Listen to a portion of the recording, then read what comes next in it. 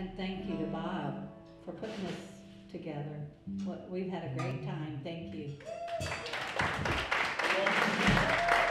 They, they really had, this was a challenge for them because I knew these songs, they did not.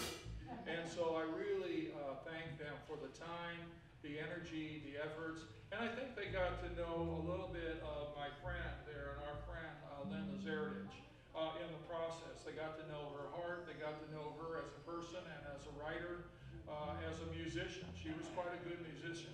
musician. So um, we're going to do a song that was again, we're, once again, we're trying to touch on favorites uh, of Linda's. So this was another favorite song, and it is also on the CD.